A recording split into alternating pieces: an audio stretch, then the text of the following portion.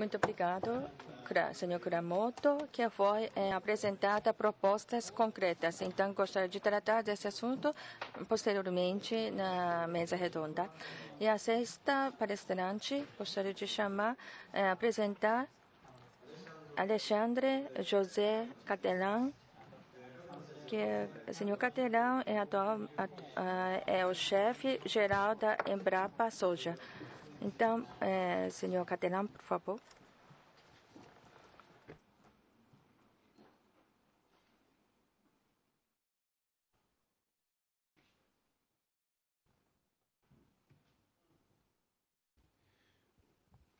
Konnichiwa, boa tarde a todos. Em meu nome, em nome do presidente da Embrapa, Dr. Silvio Crestano, quero agradecer pelo convite, por essa excelente oportunidade, por estarmos participando de um simpósio de tão grande importância que, com certeza, está marcando um momento importante da cooperação entre os nossos dois países, com a possibilidade de levar para terceiros países. Quero parabenizar a comissão organizadora, na pessoa do Dr. Kobataki, por tão uh, excelente uh, organização.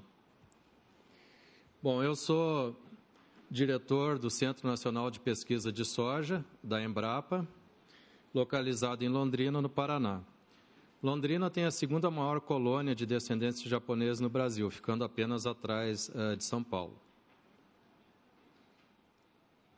Bom, a Embrapa eh, conta hoje com 41 centros de pesquisa espalhados pelo país. Nós temos três tipos, basicamente, de centros de pesquisa.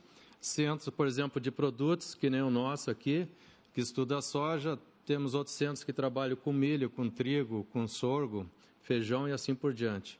Centros eco-regionais, que nem esses da Amazônia, é, outros no, no, Mato Grosso e, e outras regiões, Nordeste e temos centros uh, temáticos, como, por exemplo, agrobiologia, recursos genéticos, a própria agroenergia, que já foi apresentada. E temos uh, uma rede grande de, de, parceiros, principalmente com os institutos estaduais de pesquisa e as universidades. E nós temos também os laboratórios virtuais no exterior, que nós chamamos de LabEx. Então, nós temos um nos Estados Unidos, um na Europa, Está sendo negociada a abertura de um na Coreia do Sul, primeiramente eh, na Ásia, depois será estendido para Japão e China. E nós temos escritórios de negócio na, na África uh, e na América Latina, né, na Venezuela e na África, uh, em Gana. Inclusive, é uma satisfação termos hoje aqui representantes de Gana conosco. Bom, esse, uh, algumas fotos do Cerrado, já foi muito falado sobre o Cerrado, não vou repetir mesmo porque não tem tempo, mas é importante, eh, como já foi dito aqui, relembrar que o Cerrado brasileiro é muito semelhante em, várias, eh, em vários aspectos à savana africana. E as tecnologias desenvolvidas pela pesquisa brasileira, muito em comparação com o Japão, para o Cerrado, também podem ser adaptadas uh, para a savana africana. Aqui, só para lembrar, então, o Cerrado é uma região muito grande, essa é a região nesse verde claro, são mais de 200 milhões de hectares, dos quais 127 milhões têm potencial para agricultura. Esse aqui é o desenvolvimento da soja no Brasil em termos assim globais. Na década de 1960, ela iniciou em termos comerciais, ou seja, é uma cultura relativamente nova uh, no Brasil.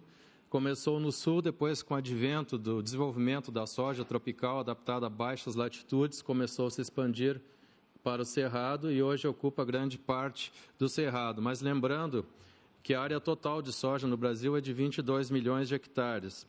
Então, se compararmos com toda a área agricultável do Brasil, é apenas uma pequena parte.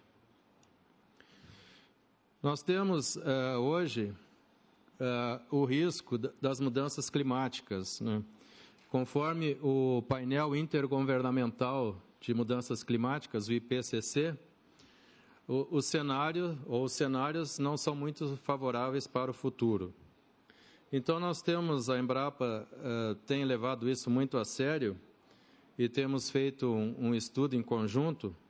Essa é a situação hoje, por exemplo, das regiões eh, que são adequadas para o plantio de soja, principalmente em termos de água, de disponibilidade de água e também de temperatura. Então, a região em verde é a região mais adaptada para o plantio de soja. Em amarelo, já tem algumas restrições e em vermelho, totalmente inadequada. Essa é a situação atual. Se houver o aumento de um grau na temperatura, que já está previsto para os próximos anos e, na verdade, já está acontecendo, já há uma redução significativa da área apta, ou seja, aumenta a área inapta. Havendo um aumento de 3 graus, vocês podem ver que diminui bastante a área apta para a produção de soja. Aqui, no caso, estou falando apenas de soja, mas isso acontece para várias culturas. E se chegar a 5,8 graus, que é o, vamos dizer, o pior cenário previsto, a redução é realmente muito grande e, inclusive, começa a jogar a região apta para a soja para a Amazônia, o que é totalmente indesejável. Bom, aqui nós temos ah, esse quadro, comparando aqui esses aumentos de 1 grau, 3 graus, 5,8 e a redução de área e de produção prevista se isso acontecer. Então, aqui para arroz, no Brasil, né? Então, para arroz, a redução seria de 41%, para feijão de 23%, soja de 64% e de milho de, de 15%. Em função disso, uma das estratégias que nós estamos pensando, já foi comentada aqui pelo Dr. Caimuna, pelo Dr. Sasaki, é a cooperação da, da Embrapa com os GIRCAS. E no caso das, que nós chamamos de soja DREB, é uma soja tolerante à seca. Esse gene DREB foi desenvolvido uh, pelo grupo do GIRCAS, doutora Shinozaki, então, nós já temos as plantas transformadas, que nós chamamos então de soja drebe, a soja transgênica, é aqui a soja convencional, não transgênica, são isolinhas. É aqui submetida a um déficit hídrico. Nós observamos que a soja que não contém esse gene praticamente morreu e a soja que contém esse gene é, continua verde, continua viva. Bom, isso ainda não é um produto comercial, porque nós uh, precisamos da desregulamentação, precisamos da aprovação na nossa agência de segurança, CTNBio.